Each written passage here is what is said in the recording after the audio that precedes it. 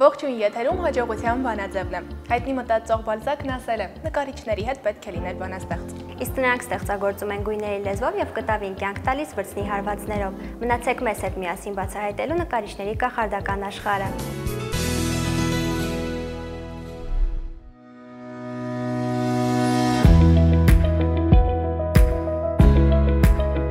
Գեղանկարչությունը ստեղծում է մարդու, բնության եւ տարբեր առարկաների գեղարվեստական պատկերներ, օգտագործելով գծանակարի, գույնի, լույսի եւ ստվերի տված հնարավորությունները։ Այն ձևավորում է մարդու գեղագիտական ճաշակը, ինչպես արվեստի մյուս տեսակները գեղանկարչությունը իրագործում է ճանաչողական եւ գաղափարական խնդիրներ։ Գեղանկարչության բազմաթիվ ստեղծագործություններ ունեն փաստաինֆորմացիոն արժեք, Օգտվելով մի շարք հնարավորություններից գեղանկարչությունը թույլ է տալիս հարթության վրա վերակենդանացնել իրականությունը, ստեղծել ծավալի ու տարածության պատրանք։ Գեղանկարչական գործերը ստեղծելիս կիրառվում են ջրաներկ, գուաշ, պաստել, յուղաներկ, սոսնձաներկ։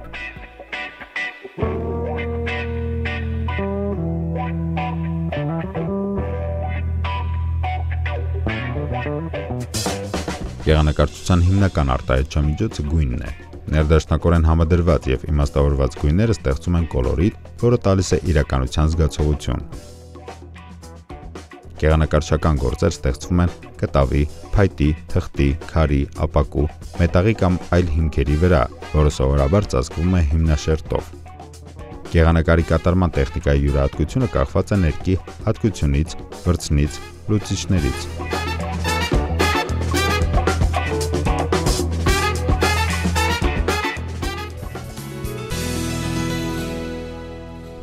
Գեղանկարչության ու գույների մասին խոսենք Մանկավարժական համալսարանի կերպարվեստի ամբիոնի պրոֆեսոր Էդուարդ Ցետրակյանի հետ։ Բարև ձեզ։ Բարև ձեզ։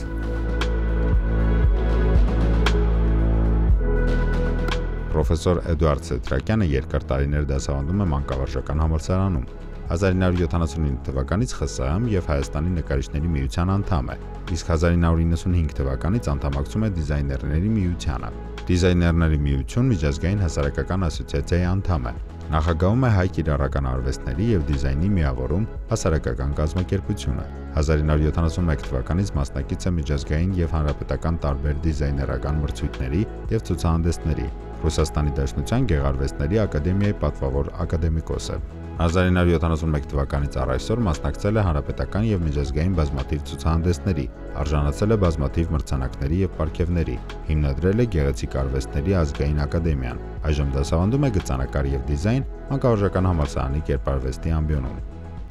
Պարոն Սետրակյան, ինչ է ուսումնասիրում գեղանկարչությունը։ Օ, ամեն ինչ։ Առաջին դա մի շատ բարդ մասնագիտություն է, շատ բարդ իրենով եւ Գեղանկարչություն բառը ասելով մենք ոչ թե պետք է հասկանանք միայն գույներով նկարչություն, ներկով նկարչություն, ցանկացած նյութով, այլ պետք է ունենալ գեղանկարիչը գեղանկարչական մտածողություն։ Դրանք շատ տարբեր բաներ են։ Ներկով նկարել, կարելի է գույնով, յուղաներկով, պաստելով, գուաշով նկարել, բայց գեղանկարչական օրենքներից դուրս լինի։ Մի քիչ կարող է պարադոքսային է թվում, որ ոնց է գույնով նկարում եւ գեղանկարչություն չեք համարում Օրինակ ես չեմ համարում, որովհետև գեղանկարչությունը մտածելակերպ է, իսկ այդ մտածելակերպը պետք է հիմք ունենա։ Իսկ այդ հիմքում ի՞նչն է ընկած։ Գունային հարմոնիան գույնի հասկացողությունը, տաք ու սառի գույների հարաբերությունը։ Գեղանկարչության մեջ շատ բարդ է եւ այդ խնդիրը ընդհանրապես նկարիչները մեծ նկարիչները դրել են իրենց առաջ հիմնականում իմպրեսիոնիստներից սկսվեց դա լույսի եւ օդը նկարել է։ Պատկերացնեք, օդի շերտը անպայման պետք է նկարվի։ Քեզանից միջև այն ծառը կա տարածություն, բայց դրա մեջ կա այդ օդը։ Այդ եւ այդ ամբողջ օդային տարածությունը դու պետք է նկարես։ Շատ բարդ բան է։ Առաջինը դա պետք է բնատուր լինի, դա սովորեցնելու բան չի։ Չես կարող մարդուն սովորեցնել երաժշտությունը լսել։ Չես կարող նույնպես սովորեցնել գույնը տեսնել, զգալ։ Պետք է նա զգա Իսկ այն մարդը, որը գույն է զգում, նրան կարելի է արդեն սովորեցնել այդ օրենքների հիման վրա եւ այլ, որը դա շատ երկար process է եւ մի խոսակցության կամ լեկցիոն բանով չի չի լինում սովորեցնել գույնը ինչպես տեսնել, ինչպես վերցնել եւ այլ։ Տարերը իրար կողք կազմում են բառ, բայց ցանկացած տար իրար կողք բառ չի կազմում։ Էնպես էլ նկարչության մեջ ցանկացած գույն իրար կողք հարմոնիա չի կազմի, գեղանկարչություն չի լինի։ Այս է ամբողջ խնդիրը, որը շատ բարդ բան է։ Պարոն Սեթրեկյան, խոսեցիք նաև գեղանկարչական մտածողության մասին։ Դա նույնպես պետք է ներքուստ լինի, թե աշխատանքի ընթացքում տարիների արդյունքում է ձևավորվում։ Պայմանը մեկն է։ Այն մարդը, որը ուզում է սովորել, պետք է ունենա աստծուց տված, ինչպես ասում են, ներքուստ այդ շնորհքը, կարողությունը եւ պահանջը։ Եվ որից հետո կրթությունը առանց կրթության չի լինի։ Դա պետք է սովորացնես համաչափություն, պլաստիկա եւ այլն, դա մի ամբողջ կոմպլեքս է, որը միասին պետք է դա լինի։ Այնպես որ առանց կրթական այդ process-ը անցնելու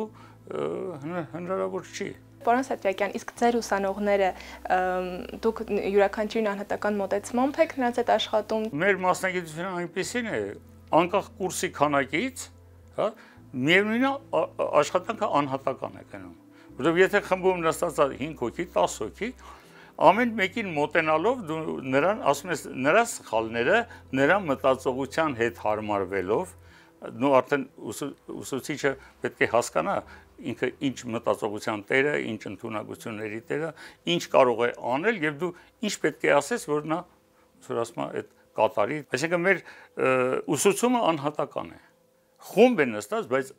դասավանդումը գնում է անհատական։ Ձեր ուսանողները բացի տեսականից նաև անցնում են գործնական պարապմունքներ։ Հիմնականում որտեղ են նրանք իրենց գործնական պարապմունքները։ Հիմնականում գործնական, հա։ Նկարությունը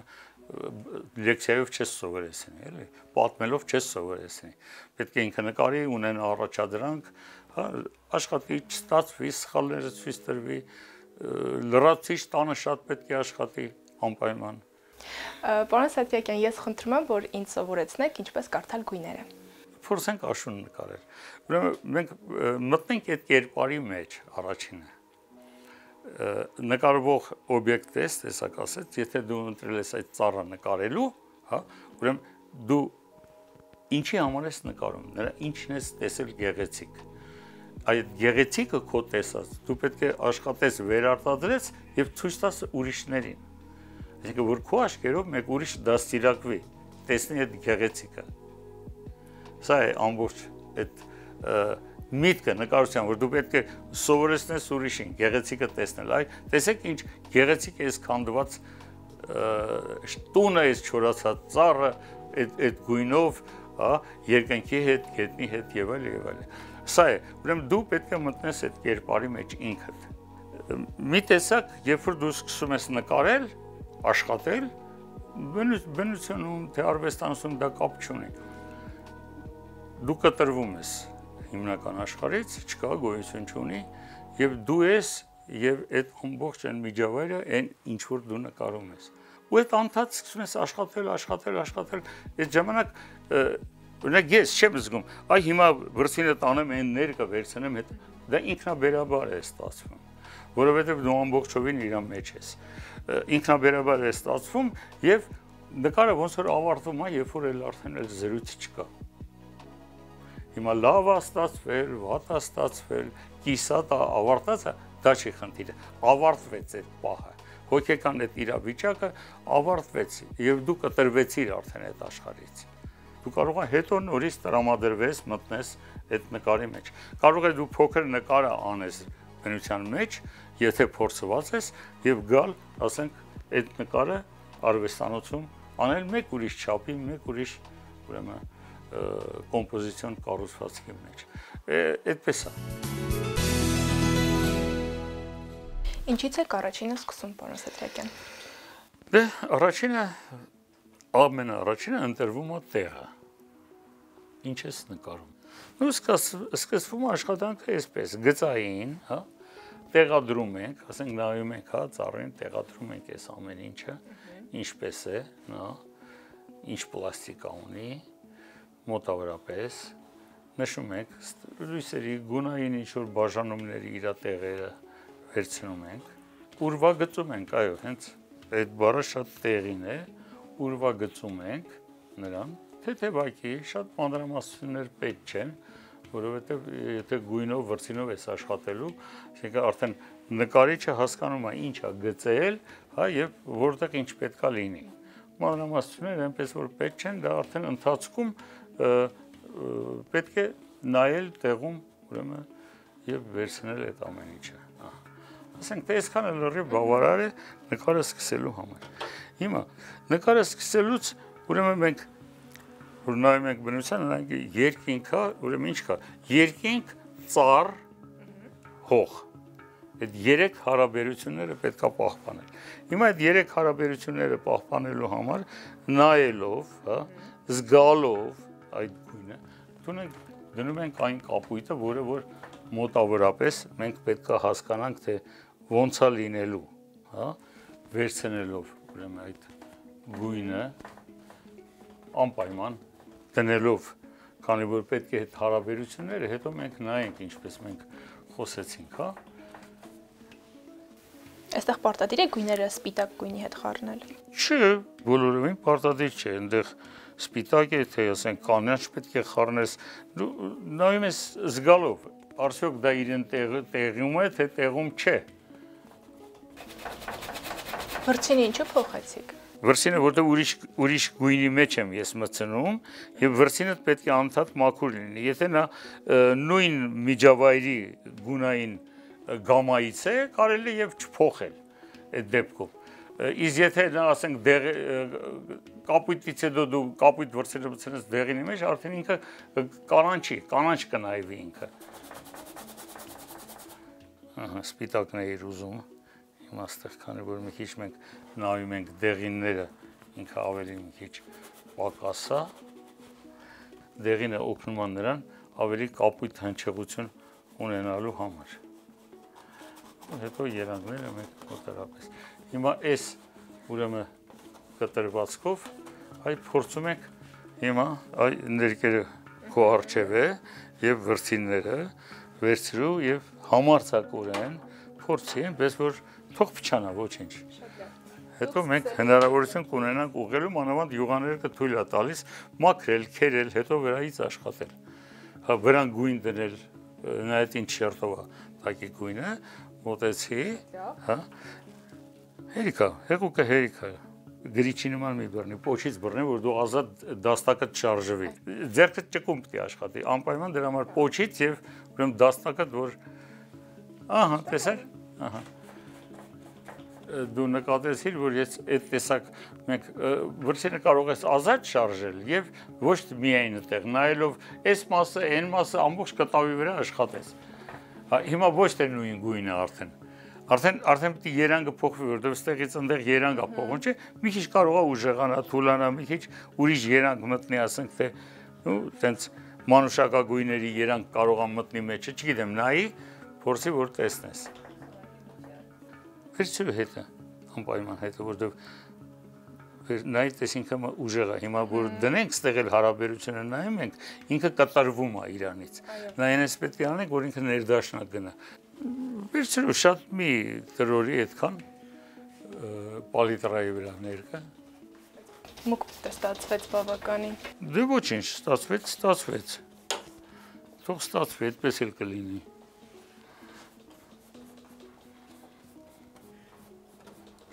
Պարոն Սետրյակյանից բացի վրցինը բռնելու ձևից, ուրիշ ինչ հմտությունների պետք է դիրապետեն ուսանողները։ Դե վրցինի բռնելու ձևը այսպես է։ Ես ինչու ասեցի դաստակով, հա? դաստակը որ ազատ շարժվի։ Պարզապես ձերքը ճկուն է շարժվում եւ կտավի ամեն կողմը դու կարող ես բանանել։ Վրցինը ձերքիդ մեջ չտանել։ Անհրաժեշտ է ուրեմն իմանալ գույներ կա որ իրար հետ չի կարելի խառնել նա կեղտոտումա ցեխ է դառնում ասենք օխրաները կապույտի հետ խառնես կարիշնիները նա ինչ որ երանգը փոխում է եւ գույնը մաքուր չի հնչում հետո վերջ վերջով կարելի է իմանալ գույնը որ գույնը որ գույնի հետ ես վերցնում թելադրելով նատուրայից, հա, եւ ներկը շատ տրորել, ես տեսա դու ներկը շատ էիր տրորում բանի պալիտրայի վրա դե սխալը դրա սխալու ճիշտ չասենք, բայց չի կարելի ներկը ոնց որ նո կոպիտ ասած մահանում է ոնց որ ինքը քիչ խառնելուց երանգները նրանք շատ չեն իրար մեջ ներս մտնում եւ այդ ընթացքում կարող է քո կապույտը եթե սպիտակի հետ վերցրել ես նրա մի քիչ թեթև երանգները ունենա եւ ավելի ուրեմն ինքը նայվի, ավելի դիտվի, ավելի հարմոնիան ավելի ճիշտ գնա գունային։ Քանի որ եթե շատ է տրորում, նո ոնց որ դառնում է դա ներկարարներ, հա, պետք է շատ տրորես, որ դուրը ներկելուց ինքը հարթ լինի, ուրիշ հանկարծ երանք մեջը չլինի։ Բայց այս դեպքում շատ պետք չի տրորել ներկա։ Մանավանդ ասենք թե եթե ջրաներկով աշխատելու ժամանակ նույնպես շատ չի կարելի շատ գույներ խառնել, գուաշի դեպքում նույնը։ Ինքը որ ավելի մի քիչ թարմ ներկա դու վերցնես, ներկանյութը վերցնես, դնես ինքը գույն հնչի, էլի։ Հիմա փորձենք, հա։ Պաստորն այստեղ արդարացվում են անհարթությունները։ Անհարթության խնդիր չկա, որովհետև դա էլ մարդու նատուրայից եկող բան է, մարդկա որ աշխատում է մեծ մազոկներով հաստ, հա, վերցնում է յուղաներկի շերտը հաստ կտավի վրա եւ կարող է նկար կա կամ նկարից թելադրվող, ես ունեմ նկարներ, որ ավելի հաստ շերտով է կամ ավելի քիչ շերտով է։ Նայած ինչ ես նկարում, պետք է թեման էլ քեզ թելադրի, թե դա հարթ եւ բան չկա այդպես բան։ Ոնց ուզում ես նկարի, մենակ թե արա այդ խնդիրը ճիշտ եւ քու ուզեցած միտքը կարողացի հաղորդել մեկ ուրիշին դիտողին։ Փորձեմ ձեր խորհրդից հետո փոխել այսպես ասած սխալս։ Իհարկե։ Նու ոչինչ, սխալը անընդհատ կլինի, սխալվում են բոլորը, դու էլ կարող ես սխալվես, ես էլ ամենամեծ վարպետներն էլ են սխալներ գործել, այնպես որ սխալից վախենալ պետք չի, սխալից պետքա եզրակացություն անել, միայն թե այստեղ տես այսպես սկսելով գնում ես, ինչի համար։ Դիր գույնը համարցակ բրցինի վրա էլ ներ չէ, հետո ներկը պատրաստի կողքը դիր իր, հաջորդ պետք չի տենց։ Հա, հիմա գույն վերցրու ռիսկով ռիսկով նայելով նատուրային վերցրա, վերցրա մեծ կտորով ավելի։ Հիմա նայիդ ես, քո դրած անգամն է, ինչքան լավ երանգներ կան մեջը։ Հիմա եթե դու սենց անում ես, տես տես կեղտոտվեց այս հատվածը։ Այսինքն միշտ պետքա թարմ պահել այդ ամեն ինչ էլի։ Դա վերցրու։ Կտավը ունի նաև ուրիշ հատվածներ։ Օրինակ, այստեղ բայց ավելի բաց է խնդրեմ, բաց ես տեսնում, բաց արա։ Միայն թե համոզի։ Այստեղ չկա այդ ամեն ինչը, պետք է համոզել։ Եթե համոզում ես, դիտողը հասկանում է քո միտքը, ուրեմն ստացվել է աշխատանքը։ Ну ոնց է բանաստեղծությունը կարդում ես, եթե քեզ հուզեց, ուրեմն լավ է։ Ամենակարևորը որ չես վախենում վրցինը կսելուց, ուրեմն ոչինչ թող չստացվի էլ։ Կհամարենք, որ մեր մոտ այսօր չի ստացվել, ինչ անենք։ Այդպես էլ է լինում։ Պարոն Սատրյակյան, հետաքրքիր է ինչքանով է ուսանողին պետք, որ նա իր այսպես ասած նկարչական մասնագիտությունը ստանա բուհում։ Այն ուսանողը, որը գալիս է մեր բաժին սովորելու, ուրեմն նա ուղղվածություն ունի դեպի արվեստը, դեպի նկարչությունը։ Մանավանդ որ ասենք բուհում գործում է տարբեր հա, դեկորատիվ դեկորատիվ կիրառական բաժին, հագուստի դիզայնի բաժին, այսօր եւ կերպարվեստի բաժին։ Ուսանողը գալիս է մանկավարժական ինստիտուտ սովորելու նկարչություն։ Ինչու համար։ Նա գալիս է սովորելու, որպեսզի դասավանդի։ Այո, դպրոցում են պետք, որ աշխատեն բարձրակարգ մասնագետներ։ Երաշտության, նկարչության շատ կարևոր է, որ լինի պրոֆեսիոնալ շատ կարևոր է, որովհետև երեխայի այդ չի այդ երեխան եկել է խմորը, կավ է։ Դու այդ կավից պետք է սարքես ինչ որ մի բան։ Եվ այդ այդ ինչ որ մի բան սարքողը պետք է լինի պրոֆեսիոնալ։ Եթե չկա ուսուցիչ, չկա պրոֆեսիոնալիզմը ուսուցիչի, այդ երեխային կտանի մեկ ուրիշ ճանապարհով նա չի սովորի այն, ինչ պետք է սովորի այն օրենքներին չի տիրապետի։ Այստեղ խնդիրը այն չի, որ այդ երեխան պետք է նկարիչ դառնա կամ երաժիշտ դառնա դպրոցում։ Նրա գեղագիտական ճաշակն է պետք բարձրացնել։ Եվ դա կլինի մաթեմատիկոս, թե լեզվի դասախոս։ Հետո թե գեոլոգ, ես չգիտեմ, մարդ պետք է ունենա այդ մշակութային կերպարը պետք է արվեստ իրեն հոգու մեջ պետք կրի այդ արվեստը։ Ինքը պետք է լսի այդ երաժշտությունը։ ուրեմն նրան պետք է սովորեցնել ճիշտ երաժշտություն լսել։ Երեխային պետք է դաստիարակել սովորացնել, որ նա զգա այդ նկարը նայելու պահանջը ունենա։ Սա է ամբողջ խնդիրը, այդ դրա համար շատ կարևոր է մանկավարժական ինստիտուտը եւ շատ կարևոր է, որ մանկավարժական ինստիտուտում շատ լավ դասավանդվեն այդ առարկաները եւ բարձր կարգի դասախոսներ դասավանդեն եւ ուսանողից պահանջեն բարձր բարձր որակ դա պարզապես պարտադիր է եկող այն ուսանողը որ գալիս ընդունվել է պետք ունենա այդ մղումը սովորելու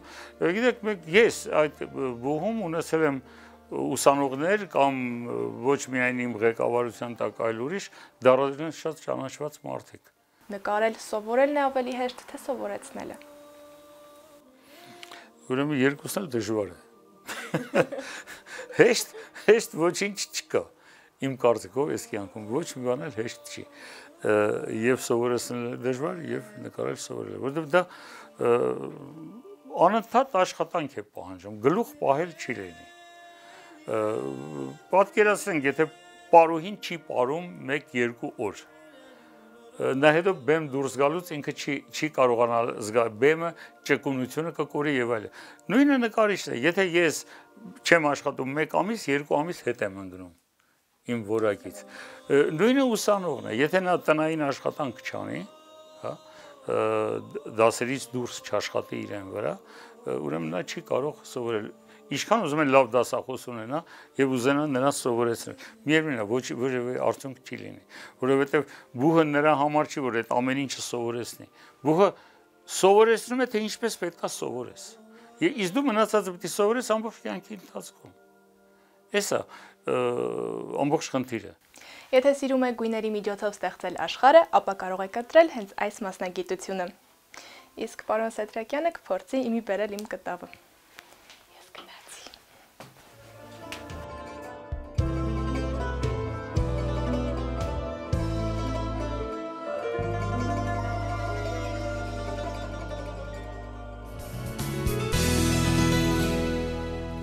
Այս պահին կխոսենք մանկավարժական համալսարանի կերպարվեստ բաժնի 4 կուրսի ուսանողների հետ։ Ողջույն։ Ինչու եք ընտրել հենց այս մասնագիտությունը։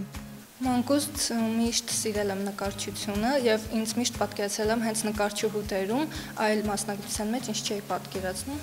Իսկ հետաքրքիր է ինչ որ ցուցահանդես ունեցել եք կամ պլանավորում եք ապագայի համար։ Ես կնշեմ մեր ամենահիշարժան եւ հուզական ցուցահանդեսներից մեկը, որը նվիրված էր Վարդգես Գուլիկյանին։ Ցավոք նա այլևս մեզ հետ չի եւ մենք նրա հիշատակին նվիրված ցուցահանդես կազմակերպեցինք որպես շնորհակալություն եւ որպիսի ժողովրդին ավելի հայտնի լինի մեծանկարիչ Վարդգես Գուլիկյանի աշխատանքները, ինչպես նաեւ մեր աշխատանքները ցուցադրվեցին, որոնք արել ենք իր ժամանակ։ Իսկ ինչպես են անցնում դասապրոցեսները։ Մենք մեր մասնագիտական առարկաների ժամանակ նկարում ենք եւ նկարում ենք այնպես, ինչպես որ տեսնում աշխատում ենք, մեզ չեն պարտադրում ինչ որ ոչ կամ չգիտեմ ինչ որ բան։ Ամենակարևորը դա է։ Ուրիշ դասընթացներ ենք անցկացնում արվեստի պատմության ոլորտում։